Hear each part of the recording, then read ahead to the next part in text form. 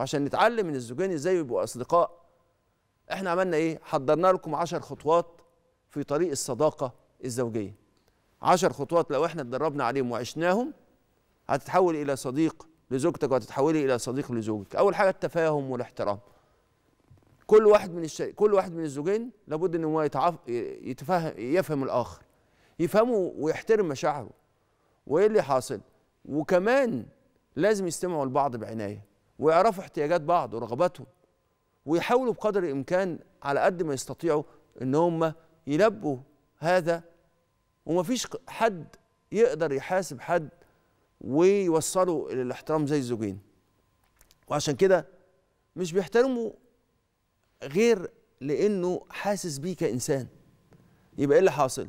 يصاحبه ومش بس بيحترمه طول الوقت ده كمان بيعامله معاملة تخليه يذهب عنه الوجع والضيق. مش بينتقده وبيلومه وبيحكم عليه أحكام مش حقيقية. ومش بي ومش كمان مش ملتفت لدوافعه لا ده ملتفت لدوافعه ومقدر ظروفه ومحترم ده كله ومحترمه والاحترام ده أساس الصداقة. وده اللي بيخلي الصديق يفتح قلبه لصديقه بدون خوف. هو بيحكي له لأنه حاسس إن هو هيفضل محترم. لأن لو حس إن هو لما هيحكي له دوت هينقص منه وبعدين يتاخد عليه وبعدين يحسسه إن هو. عنده نقص أو عنده اضطراب نفسي أكيد مش هيحكي له مرة تانية.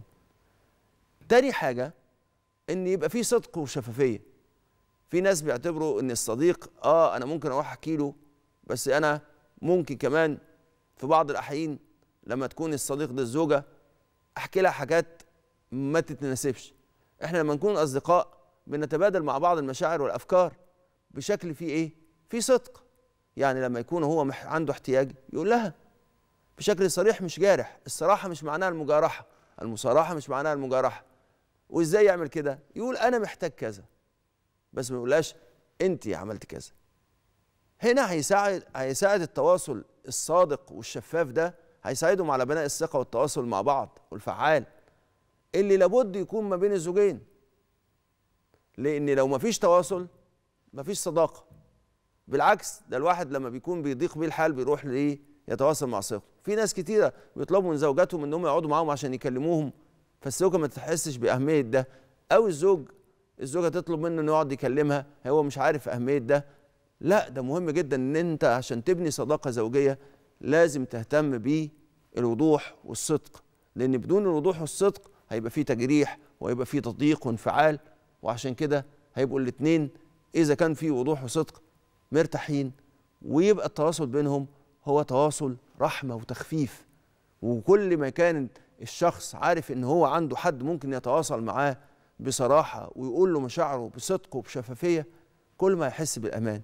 ويحس إن في أي وقت في الشدة هيجد حد قريب منه ويساعده ويسمع كلامه من غير ما يحاول يأذيه ويبقى هو العين اللي بيشوف بيها ويبقى كمان هو حاسس إن هو قادر يتعامل مع الحياة بشكل أفضل. ويفهموا بعض من غير كلام لدرجة إن هم يوصلوا إن هم لو خارج البيت يتكلموا مع بعض بالنظر ويفهموا بعض بالنظر. لأن هم اتعودوا إن هم صادقين مع بعض وشفافين مع بعض.